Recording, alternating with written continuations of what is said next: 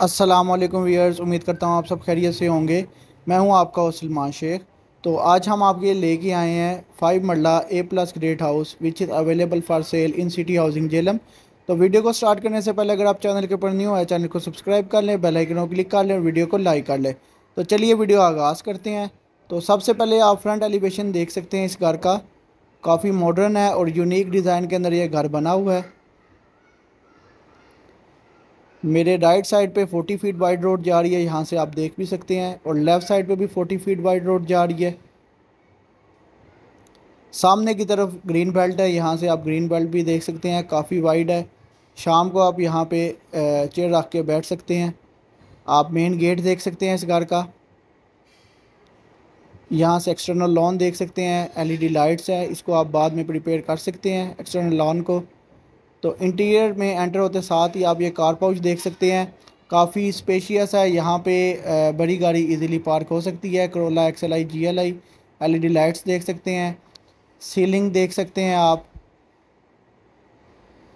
Right side के ऊपर motor का स्विच दिया हुआ है। और यहाँ पे भी काफ़ी स्टोरेज स्पेस है। यहाँ से आप ड्राइंग रूम का डोर देख सकते हैं। और साथ ही आप मेन डोर देख सकते हैं। एंटर होते साथ ही आप ये हॉल देख सकते हैं, जो कि काफ़ी स्पेशियस है। सामने एलसीडी का पॉइंट दिया हुआ है, ऊपर सीलिंग देख सकते हैं। यहाँ से सामने की तरफ़ आप ड्राइंग रूम देख सकते हैं। यहाँ से आर्टिफिशियल वॉल के साथ इसको सेपरेट भी कर सकते हैं। सामने की तरफ़ वेंटिलेशन के लिए विंडो दी हुई है। काफ़ी बड़ी वेंटिलेशन के लिए विंडो है। हॉल के साथ ही यहाँ पे आप स्टोरेज स्पेस देख सकते हैं। यहाँ पे आपकी स्टोरेज स्पेस दी हुई है और साथ आपका पाउडर रूम है। यहाँ से पाउडर रूम देख सकते हैं, जो कि आप गैस वगैरह यूटिलाइज़ कर सकते हैं। अमेरिकन टॉयलेट दिया हुआ है यहाँ पे। ये देख भी सकते हैं आप। वेंटिलेशन के लिए विंडो दी हुई है। यहाँ पे नीचे एक बेडरूम दिया हुआ है। वेंटिलेशन के लिए विंडोज़ देख सकते हैं विद सेफ्टी ग्रिल्स सीलिंग देख सकते हैं आप। साथ में कबर्स दी हुई हैं इस रूम में। यूवी की शीट लगी हुई है कबर्स के ऊपर। और इसके साथ अटैच वाशरूम है। अटैच वाशरूम देख सकते हैं। अगेन अमेरिकन सीट लगी हुई है वेंटिलेशन के लिए विंडोज़ अच्छी क्वालिटी का सेंट्री वर्क हुआ हुआ है। नीचे आपका एक किचन है। यहाँ से आप किचन देख सकते हैं। किचन में भी अच्छी क्वालिटी का वर्क हुआ हुआ है। हुड देख सकते हैं आप स्टोरेज स्पेसिस देख सकते हैं वेंटिलेशन के लिए विंडोज़ देख सकते हैं आप, नीचे टाइल देख सकते हैं मैट फिनिश में टाइल है।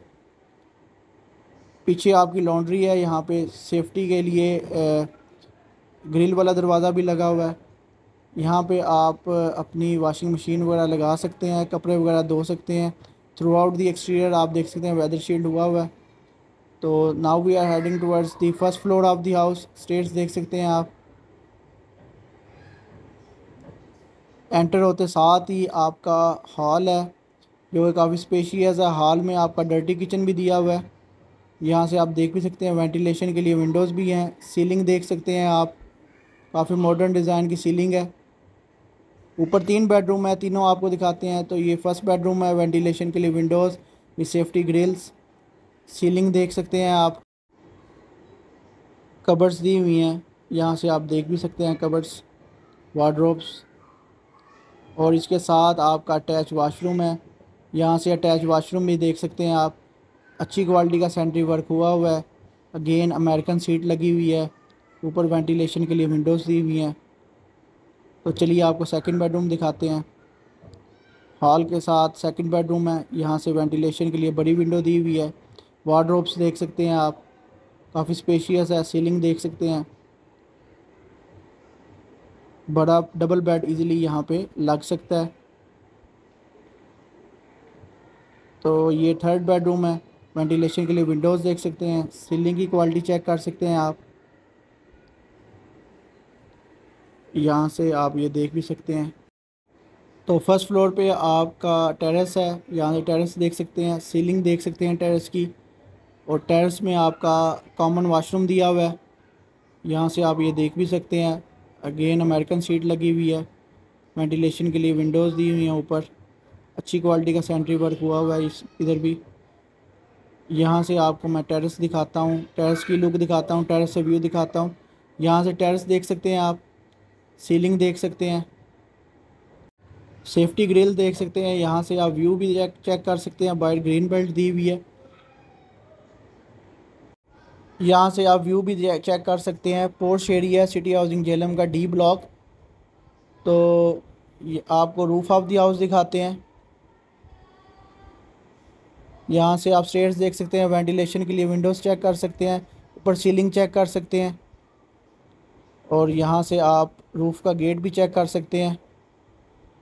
यहाँ पे स्टोरेज स्पेस है, यहाँ पे अपना सामान वगैरह रख सकते हैं। तो रूफ़ पे एंटर होते साथ ही आप ये देख सकते हैं चिप्स डली हुई है आपकी थ्रू आउट दी रूफ़ और यहाँ से आपको मैं दिखा सकता हूँ, काफ़ी स्पेशियस रूफ़ है। ऊपर आपका वाटर टैंक दिया हुआ है, यहाँ से आप ये देख भी सकते हैं। काफ़ी स्पेशियस रूफ़ है, यहाँ से व्यू भी देख सकते हैं। यहाँ पे ये देख सकते हैं आप वेंटिलेशन के लिए।